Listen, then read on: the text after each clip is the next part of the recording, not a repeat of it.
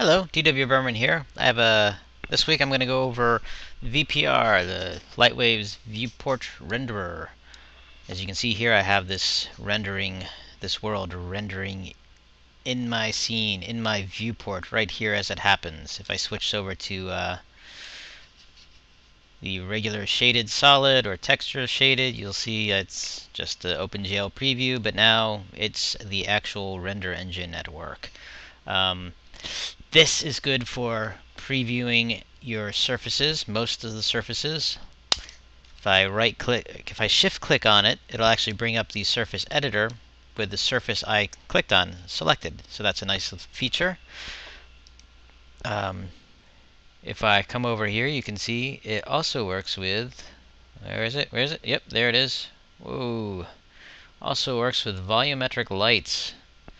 Because uh, it actually is quite good at rendering and previewing volumetric lights and hypervoxels, both things which take a little longer to render, uh, getting faster with faster computers, but they still take a longish time to render. But with the VPR, we can actually get a pretty good look at what they're going to look like when they render. And in some cases, they actually render faster in VPR than they do in the regular renderer. And I will show you how to get those regular or get get a, a render out of Lightwave for that. So um, yep, those are just some things that this can preview. Um, it will also preview uh, fiber effects if you have volume mode turned on. So um, this is the old version of this scene. Okay, um, some things you might want to know. Up here to the right, of the uh, VPR or our viewport settings window, we have more viewport settings. We have OpenGL overlay, in which case we can see an OpenGL overlay of our different items. And we have OpenGL wireframe. Now the trick with OpenGL wireframe is you actually have to have an object selected in order for it to show up as a wireframe. We, Oh. There we go. Almost. Where's my world? I lost the world. It's around here somewhere. Okay. Enough of this silliness. There's our world. And uh, there's our world on wireframes. Any questions? Yeah. Okay, up here in the upper right-hand corner, we have another option thing specifically for VPR. This looks like um, a list of things three lines with dots to the side of them. We have uh, draft mode, half resolution, and volume shader shadows. I'm not familiar with volume shadows. I'm just assuming it's a checkbox for turning on and off volume shadows. Uh, render FPS. This is frames per second. Mm, I'm not exactly sure how to explain this, but the way I tend to use it is if I have something that is never resolving, like it's always just uh, let me if it's always just kind of blocky and just kind of starts over again before it finishes. Sometimes turning down render FPS will help.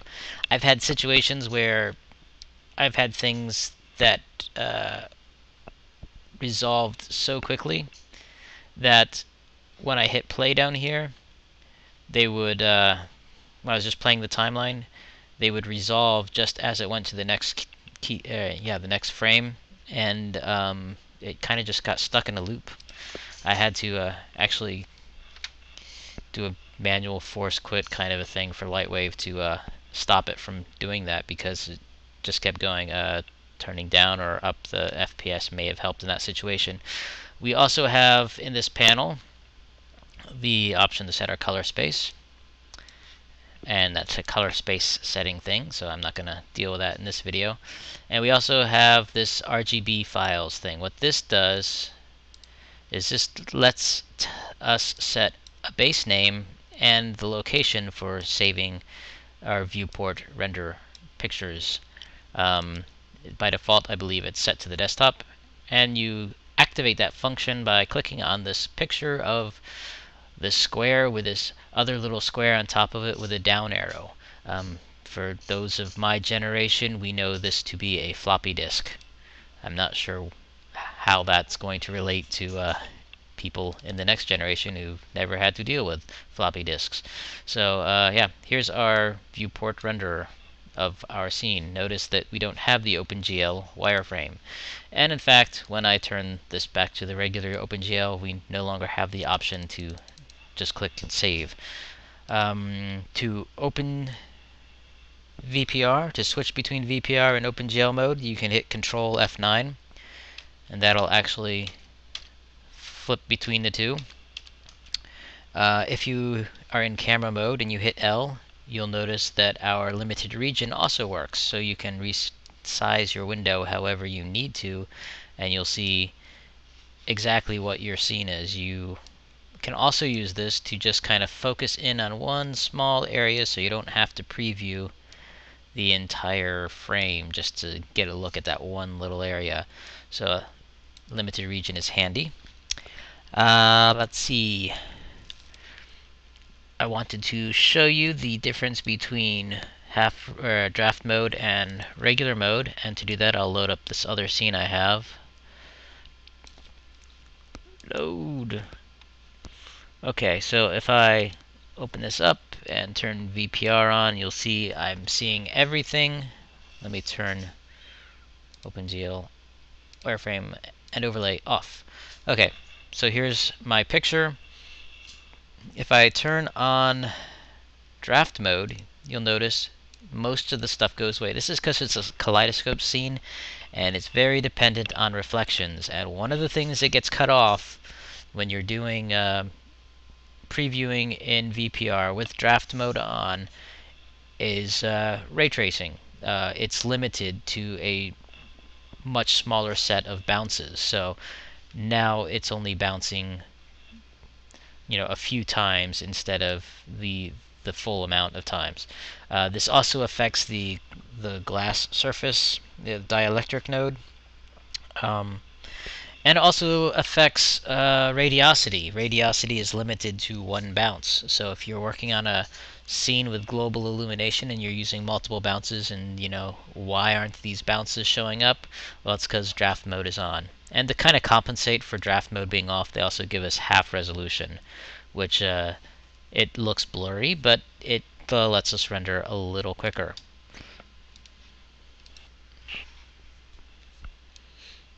Okay, now if I switch this back to uh, multiple viewports, you see I have two viewports here. And say you wanted to, you know, look at the VPR. I'm just hitting F3 to cycle through these viewport modes. There we go. What if you wanted to have VPR on both of these? Well, by default you cannot because it's not very stable if you do.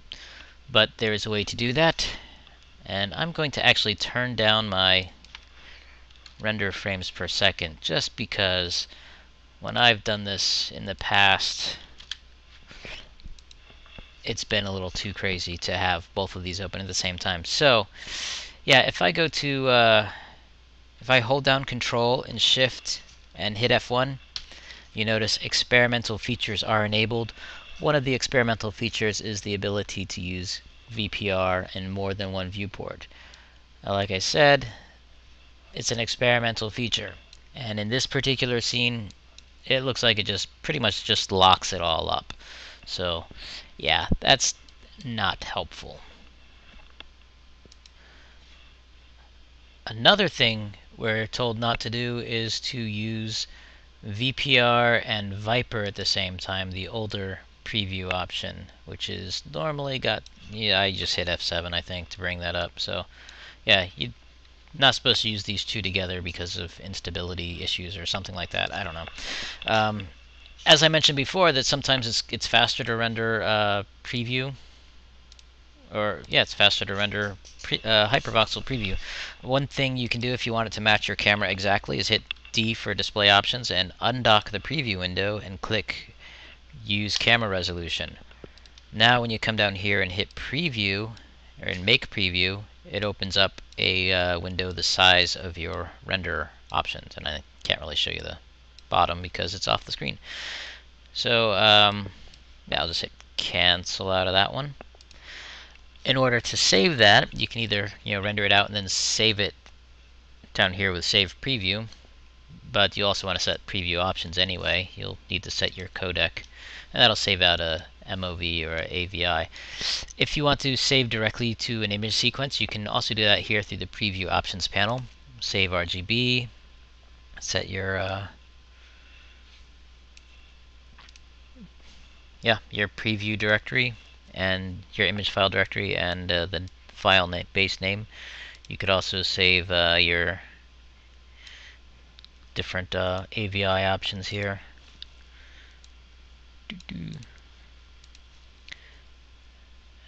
And uh, let me make that desktop. Desktop. I don't know if this will work, so I better not try it. As far as saving the uh, animation goes. So desktop, just because you know it's it's kind of hit or miss how the codec works in conjunction with rendering something in process. So what am I looking for? I'm looking for desktop. Duh. Okay. And I will just throw this in Lightwave. Test. Make preview. Frames 20. Okay, and I probably won't sit through this whole thing. Or at least I won't record through this whole thing. Okay, I'm back. Here's the uh, preview render. And let's see if I can find the files. Up here's my folder with the individual frames saved out. Okay, so this video took a little longer than I thought it would, especially since it was the second time through, and it took longer the second time, and I had fewer crashes and stuff. So, um, yeah, come on over to liberty3d.com to check out our training that we have over there. I have uh, a set of training that you can find under Citizens, Dana Burman, or DW Burman, Dana's videos. Um, also, subscribe to this YouTube channel, and uh, we will share in the experience of learning together. So, yeah, I'm trying to put up a video or so a week, so hopefully uh, we'll have learning experiences together. That's a lame way to end the video. Uh, anyway, I'll see y'all later.